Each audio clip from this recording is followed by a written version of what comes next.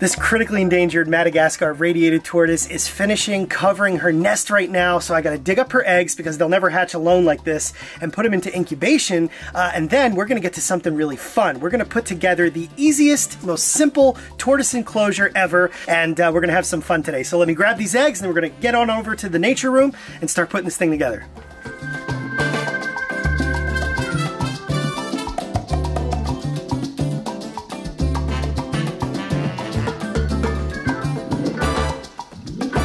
Four beautiful eggs from this hard-working mama.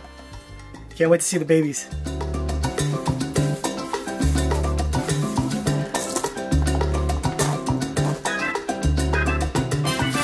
So many different ways that people consider to be the right way to keep tortoises. You can go on and on and on about it. Sometimes going simple is better than doing something elaborate, and sometimes it's really what you have to do. A couple months back, if you click this link above me, you can watch the original video we did on the Aivituvin tortoise house. In it, I suggested making some improvements. Well, the manufacturer has decided to do that, and they just sent us their new and improved tortoise house, which we're gonna set up and review for you guys. Okay. Ow. uh, don't do that. Okay, so the first thing I want to bring up right here as I open this thing up is the size of it.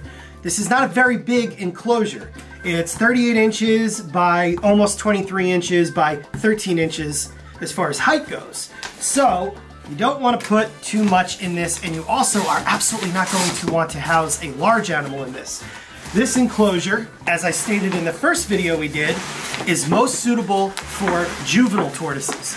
Now why juvenile? Well, an adult is going to be way too big to fit in this for life, and hatchlings need sufficient humidity, which you're not going to gain with an enclosure like this that's made out of wood, particularly cedar wood. Now remember, cedar wood, when an enclosure is made out of that, that is safe. You don't want to use cedar bedding. So if you're thinking to yourself, well, I thought cedar wasn't safe for animals, the bedding is not. The wood, excellent choice.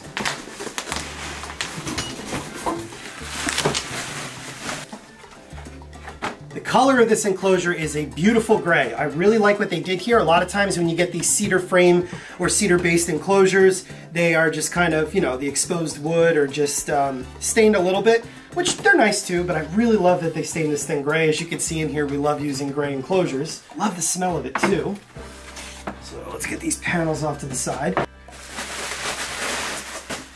Here's the base, and this is one of my favorite features of this tortoise house. They give you a plastic tray that is built into the cedar base. What's nice about this, it enables you to keep the substrate moist because you don't have to worry about the moisture in the bottom of the enclosure. A lot of the other ones that are similar to this design don't come with the plastic tray, so you gotta worry about moisture in it. And of course, tortoises, contrary to popular belief, absolutely need moisture in their substrate to stay healthy. So there you go.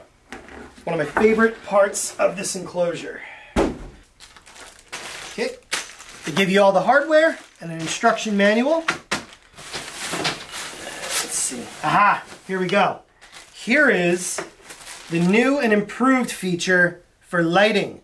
This was what I had an issue with in the very first review of this enclosure. They gave us, um, it was like a, a, wooden bracket that just was fixed on the side and you couldn't swivel it or anything. And so when you went to open up the top of the enclosure, you would have hit the lamp. You would have actually had to remove the lamp and then you know, move it out of the way and open up the top. So um, we're gonna see how this one works out because this is a much more practical piece for lighting over any kind of reptile enclosure. Here's the beautiful lid with the screen on top. Okay, and we've got just our last few pieces here. We've got one of the side panels, whoop, both side panels. We've got the entrance to the hide the top for the end where the hide is with the hardware already partially installed and some more pieces to our light bracket. So let's put this box together.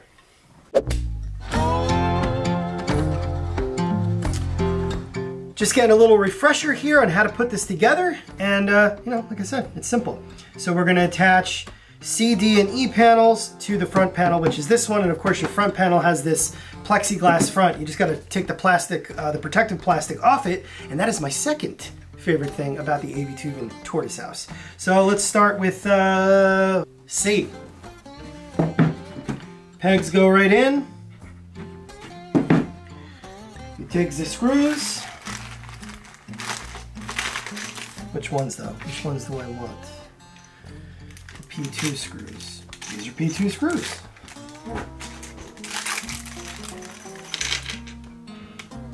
A word of caution, these are not the strongest screws, so you're really just supposed to use a regular Phillips head screwdriver.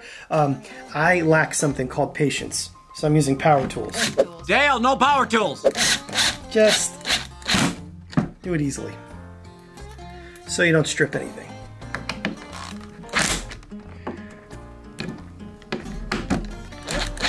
And we're in. This is your middle panel, which is going to be the entrance to the hide.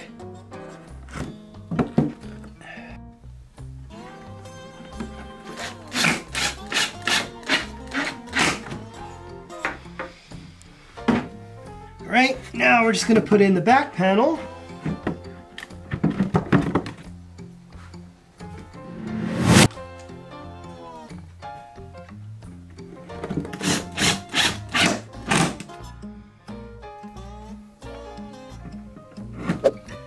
Okay, here's panel B. This is the other side.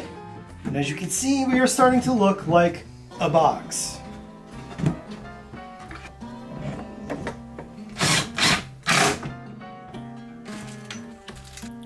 All right, now you flip it over, upside down, and we're going to put on the base. This wonderful base that allows us to keep moisture inside this enclosure. Now, this enclosure can actually be used for other reptiles such as young iguanas. We actually started the entire clutch of rhinoceros iguanas we hatched over the summer from Rocky and Blue, our adults, in one of these and they really did awesome. You know, iguanas kind of have a similar ecology to tortoises in terms of the environments that they live in, especially ground iguanas, and even what they eat. So these are pretty effective in getting your baby iguana started, and they can't get out of it because it's got the screen lid and hardware that locks in place.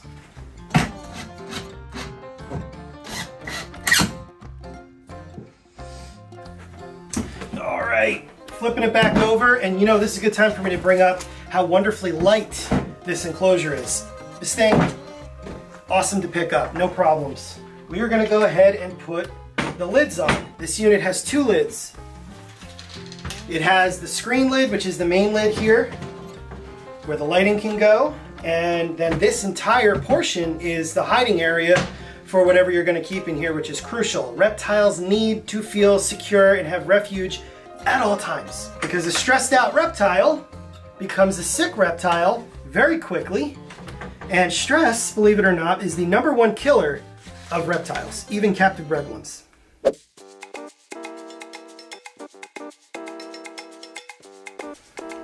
The whole thing behind this unit is the simplicity of it, which is awesome. You're really putting in very few screws to complete the whole installment.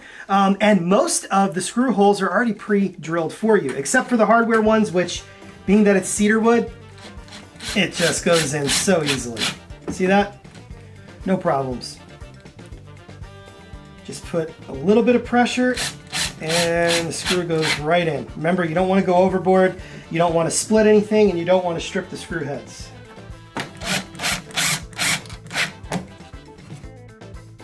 All right, so we're putting the latches on. This part is all about you just eyeballing it, but again, it's very simple. You just want to make sure that it's going to be able to latch properly and try to keep it as level as possible. Put in one screw at a time and just kind of take a step back and look. Because especially, you know, if you're going to keep something like young lizards in here, like the young rhino iguanas, you want to make sure that it does latch securely so that they can't get out. Okay, moment of truth. We're gonna start assembling the improvement they made based on my suggestions from the last time we reviewed this enclosure, and that is the new lamp holder, starting with little pieces of hardware. All right, this is the top part of the lamp holder. You just simply screw it into this little platform that they made for it. Make sure it's flush and as even as possible. In you go.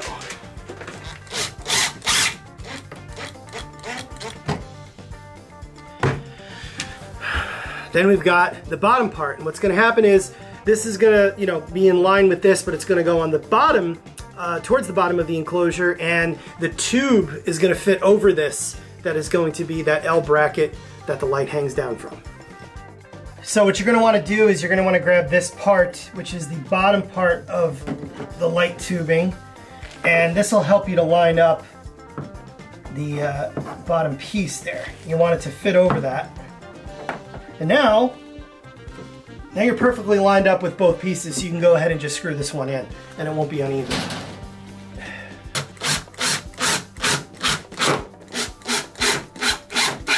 Okay, now we can put the rest of this thing together. So this thing really is an improvement from the last model.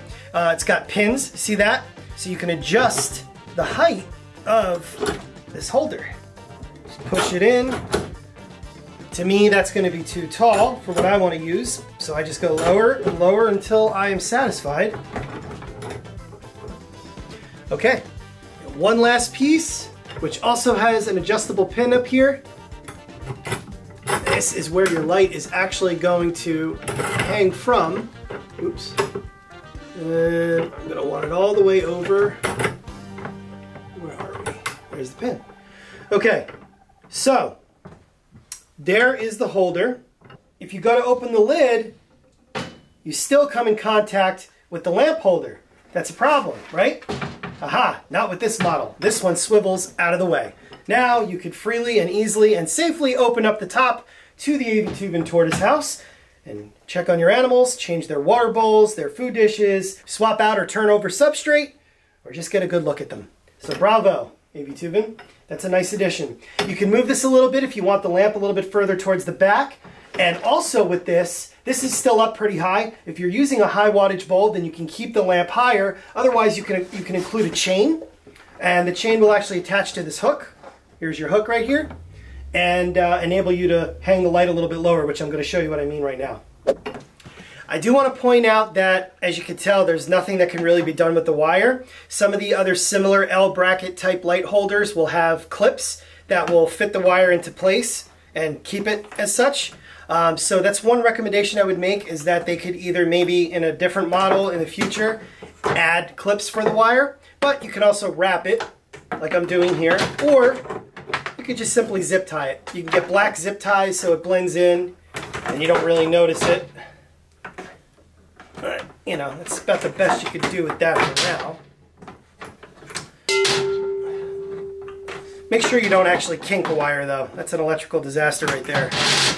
This is what I was mentioning earlier. If you want the light to go lower, you can simply get a piece of chain cut to size attach it to the hook up here, and then also attach it to this piece that holds the light, and then you can get the light a little bit closer if you want, if your wattage isn't uh, that high. You know, if you're in a warmer room, you're obviously not going to want to blast whatever you have in this enclosure with like a 250 watt brooder lamp. You're going to want to use probably a 75 to 100 watt basking lamp. Um, and again, you can move this a little bit and you can put slate rocks directly underneath it on top of the substrate that will enable the reptile that you're housing in here to reach optimal activity levels by getting as warm as it needs to. And also, you're going to want to use a light that has full spectrum. You're going to want UVB and UVA, which means a mercury vapor bulb is going to be your best bet there. Arcadia, Zoo Med, uh, and other reptile companies make them. And uh, they are very good, but change them every three months instead of every six.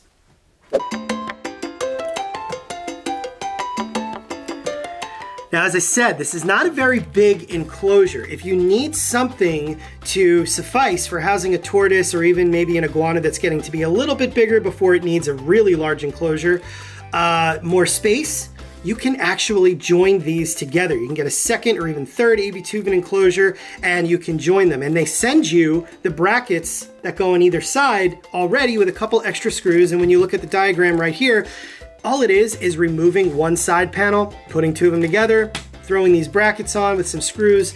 You can reinforce it some more with yourself if you have wood glue or whatever else, and then you've got uh, way more room for the animal that you are housing. All right, now the fun part. We're gonna decorate this thing. We're gonna make it very standard for indoor tortoise housing, whether it's temporary or semi-long term. And uh, we're gonna use a substrate of both cypress mulch and eco earth. These are two safe substrates. I don't have any sand on me at the moment to add to this, but I always like to add some sand to a tortoise's enclosure because contrary to popular belief, as I told you guys in many, many of our videos, sand is a natural component found in just about every single tortoise's habitat across the globe and it is important. Don't believe all the impaction stuff. It's all in how you feed the animals, which you can see in many of our other videos.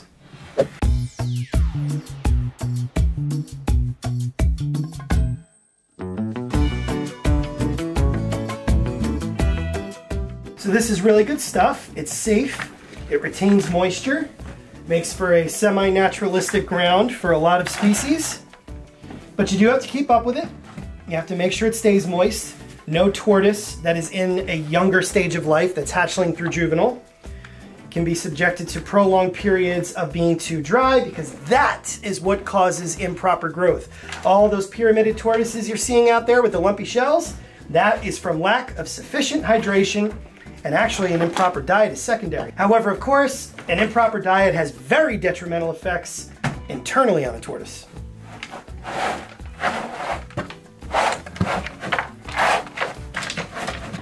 Here's how you also give your tortoises sufficient hydration. You give them a nice sized water dish that they can not only drink from, but also fit their bodies into so they can soak, because that is important and is something that all species will do in the wild. Remember, even desert or arid dwelling species seek out humidity and wet areas whenever they can. They've simply adapted to the environment that they live in, but they absolutely do still need sufficient levels of moisture and hydration as much as possible. So we got a nice sized water dish in here, one that they are able to walk in and out of easily, and you just change that daily. No need to go fancy with a food dish. All you need is the lid to a Tupperware container or deli container. If you want to do something fancier, fine, but you can change these every day by just throwing them out or simply clean them. There you go. That's what your tortoise can eat off. All right, so even though we've got a fully hidden area thanks to Aivituvin's design of this enclosure, I'm gonna make it a little bit more secure for tortoises because if you know anything about them, they love to just find the darkest, most secure areas where they can feel completely alone and unbothered. So I've got a little cave here and I'm sticking this in the back corner and I'm also going to throw some chopped straw back here for added cover. Remember, even the most vividly colored or marked tortoise species can blend in without problem in their natural environments because while they look conspicuous to us, they are adapted to stay hidden from predation. So by adding extra things like this, something as simple as chopped straw, you're making that tortoise feel safe and it can actually be pretty hidden. This is one of my personal little tricks that I love to use indoors for smaller tortoises or younger tortoises uh, because it adds both aesthetics, makes things great to look at, and it also adds even more cover for the animals. You just take a piece of flagstone or slate and a fake plant like this fern right here. Yes, they are perfectly safe and actually better in some cases than live because all tortoises are gonna do is mow down and eat anything live. And uh, you just do something like this. Here, pick a corner, Pull the substrate back, jam this in, cover it back with the substrate, and now what you have is an area that the animal can go underneath but bask at the same time. Young tortoises, even adults, will do this. They will use the edge of some kind of vegetation in their habitat and just expose the right amount of their carapace to the sun. So they're staying hidden but getting warmed up at the exact same time. Take a couple more pieces of flagstone and place them on top of the substrate right underneath the basking light and you create a nice area that a tortoise can warm up fast on because the rocks are going to retain that heat.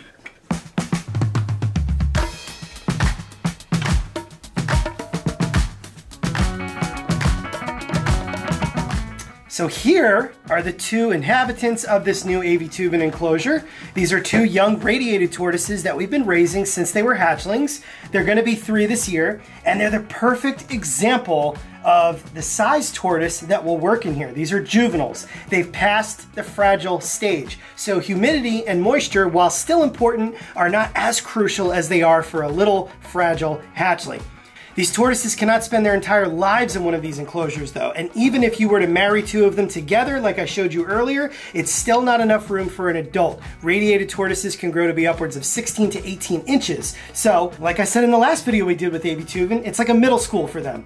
It's a time period for them to spend their juvenile years before they get to subadult size and then of course adult size. So for now, this enclosure is fine the way it is for these two but probably by next year I would want to put two of them together to give them double that amount of size.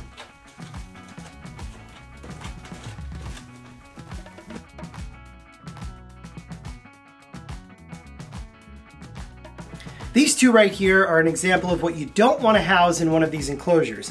And that is because babies, little hatchlings like these, require very high levels of humidity and moisture. So these do better in more of a closed chamber that we're going to end up doing another video on. So while they're in this fragile stage, something that's really open-aired like this is not going to be sufficient enough for them unless you truly can keep up with keeping this thing humid and borderline damp for babies. Remember, baby tortoises seek out microclimates that are always humid, and they spend 90% of their time in there, only coming out to bask just a little bit when they're partially exposed, they do a little bit of grazing and then they go right back to hiding. It's not until they become much larger and less vulnerable that they venture out more.